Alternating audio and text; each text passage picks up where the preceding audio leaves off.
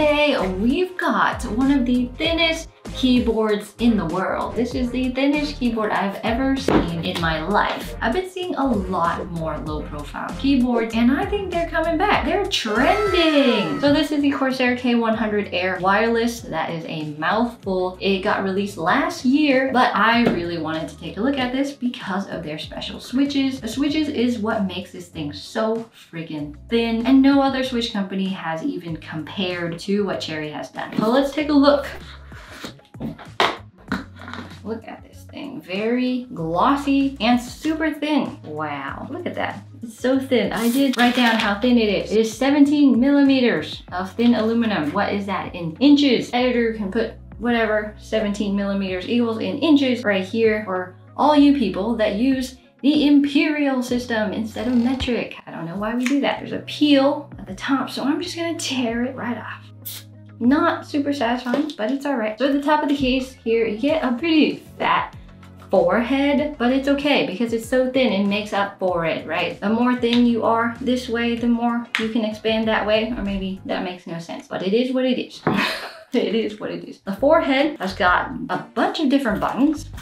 They're not super satisfying to click, but they are there. The leftmost one is profile switching. This has a ton of memory in it. I think it's eight megabytes of memory, which stores like 50 profiles. I don't know how many people in your household. My household does not have 50 people. So between the two of us, we each can have 25 profiles. Yay, one for gaming, one for movies, one for music. I don't know what you need profiles for other than different games. The second one is brightness. So you can turn off the RGB. Speaking of RGB, you wanna see the RGB. It looks really nice. The RGB lights up the Corsair logo in the middle. You can also Windows lock for you gamers out there and hold the brightness button to turn off the RGB or up the brightness. I like bright because bright is nice. On the top left side, you got all your media controls. Previous song, pause, play, next song, a mute button, and a scroll wheel that is not tactile at all. It's just an infinite scroll of no tactility. It's not satisfying, but it is nice if you want to go from 0 to 100 and just all the way. Not bad, not bad. So it's brushed aluminum. This screen, however, this gloss top does pick up fingerprints, so be careful there. On to the good stuff. The actual keys and what makes it so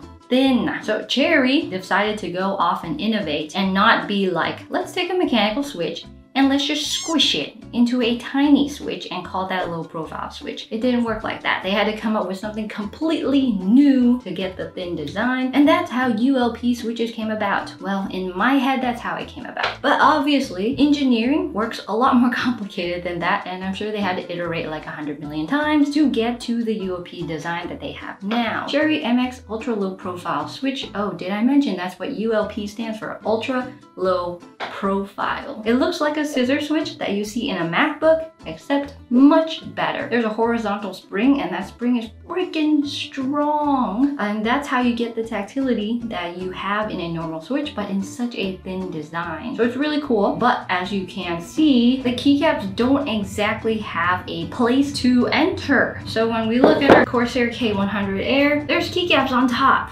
But the real question is, can you take them off? And the answer is, after thorough digging across the internet, uh, you can, but you as a consumer should not. And I as a consumer will not. Because Corsair says that although they are take-offable and put-onable, it takes an expert to do so. And you and I, we're not experts. Or are we? The keycaps are made of ABS plastic, they're shine through, and they're not like flat. They have a slight curvature to them. There's a numpad. It is full size after all, so there's a numpad for all you productivity folks out there who like to use Excel sheets like myself sometimes. 1% of the time do I ever use a numpad. On top of the numpad, you've got four G keys, which are macro keys, and you can record macros right in the keyboard without having to use the iCUE software, which is a big bonus because who wants to download software to do all of your customizable stuff? Although it is cool. The software is really cool. You can change your polling. So to start with, the polling I think starts at 2000. By default, it starts at 2000, which is already higher than 1000 that you get in normal normal gaming keyboards. But you can go up to 8,000 if you want. I, I have no need for that, but that's cool. I think. Back to the macro keys. You can record on the keyboard itself. You can also change the three different Bluetooth connectivities or the 2.4G using those buttons too. So wireless dongle already in the case, installed right on top. Very convenient and it's slipstream wireless. For you gamers out there, it's ultra fast, super easy to connect, and it's hard to lose too. There's quite a bit of friction. And then on the top left, you got your USB-C cable and then a on off button here. The connection is seamless. You put this dongle into your computer, you turn it on, and automatically it just has a pop-up thing that says your Corsair K100 is connected, and boom, you're ready to go. So seamless and so easy to use. It makes other keyboards just like feels so slow. It's got a cool design on the back, lots of triangles. Corsair really likes triangles. There's two angles of kick of feet, which I actually do use for a low profile keyboard because if you put it like this, it's much too flat. For this one, I probably use the highest angle and then type using that way. So while I did that, I actually only changed up the RGB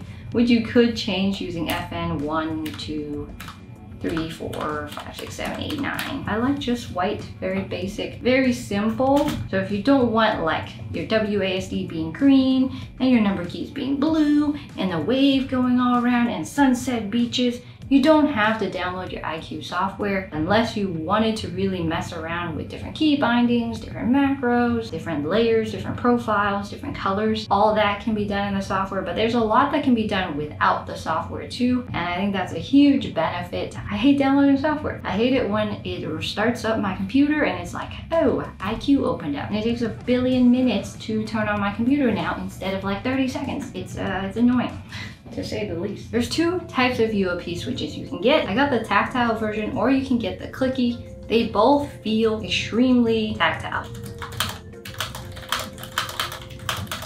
The switch heaviness feels like a regular mechanical keyboard, except it's super thin, so the travel distance is not very far. And we gotta address the elephant in the room, and that is the, uh, the space bar. The space bar uh, looks looks great. Uh, it sounds not as great, and I wish that I could lube it, but because the keycaps aren't as take-offable and put-onable, I uh, cannot and actually will not because I don't want to ruin a perfectly good keyboard that is quite pricey too. For battery life, because it is wireless, if you choose to turn RGB off, you can get up to a whopping 200 hours of battery life with no RGB. With RGB on, you get up to 50 hours, which is a pretty long time, especially since it does go to sleep whenever you're not using it. So it's really clean. You can have a completely wire-free setup, but I'm a pleb and I use wires, so I would I would connect it because I don't like the hassle of charging. But lately, I've actually been using this with my laptop for when I work outside the home or in the living room, and it's been doing great. It's actually really good that the keycaps aren't takeoffable because if you're throwing the thing into your backpack, I've done that with another low profile keyboard actually. This one, but I've put this thing in my backpack before and I've had keycaps just fall off and I have to dig at the bottom of the backpack and dig it back out and punch it back in and that's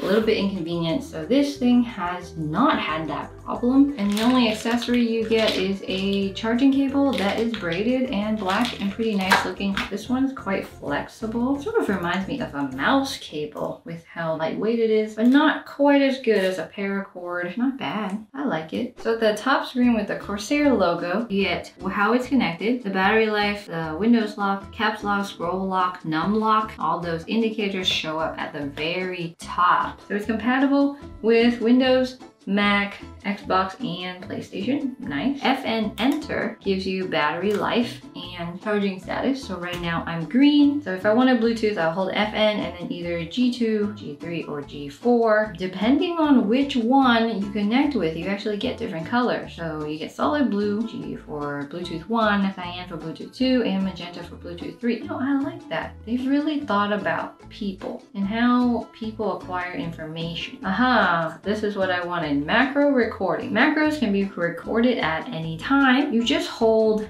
this bad boy here for two seconds and I'm going to type uh, click.com. Enter. You can save it on any key, FN plus key or G key. I'm just gonna save it to G4, Now FN G4. I've done it. I've done it. The macros are really cool. Very easy to do. Everything's in the quick start guide. Let's address the biggest elephant in the room, bigger than the sound of this spacebar price. It is a, uh, how do I say this? Uh, it's not budget. In no world is this budget. It is a whopping $279.99. It's a lot. I don't know what I could compare that to. It's a lot of money. But it does have a lot of nice stuff. It's super sturdy. I think this could last a really long time for somebody. But why would you want it? I think that's the real question here. One, if you really want a low profile keyboard, this is as thin and as low as it gets. And two, we all trust Cherry and their switches. Up to 50 million keystrokes with zero loss in quality. It's a really freaking cool switch. Probably the coolest switch you've ever seen. But you can't see it because you can't take it apart. Uh, so that's sort of a bummer. All right, so take a look at this and it is time to rate it on the comprehensive switch and click and keyboard database on Notion that pretty much has every keyboard that we've ever reviewed ever right now. Corsair K100 Air Wireless. Price is subject to change, for right now, $279.99. Hot swappable? No, absolutely um, not. Notes, the thinnest keyboard on the planet. Very high quality build. Unique cherry ULP switches. RGB? Yes, absolutely. So, ranking. Hmm. It's super unique. It stands out from the crowd. I don't think you'll ever find another low profile keyboard quite like this one. It just stands out at a totally different level. I think if they did PBT keycaps, they would actually get more longevity out of it. ABS keycaps are gonna last a long time. It's just the oil is going to make it look a little bit older. You know what? I'm gonna give this five stars. I think if you get something like this, you will not be disappointed for the reason that you got it. Like the person that really wants something like this, wants something low profile, high quality, full size, they won't be disappointed with it. So that is my rating, five stars. If you want access to this database, the link for it will be in the pinned comment down below, as well as a link to this bad boy. I'll see you in the next one. Goodbye.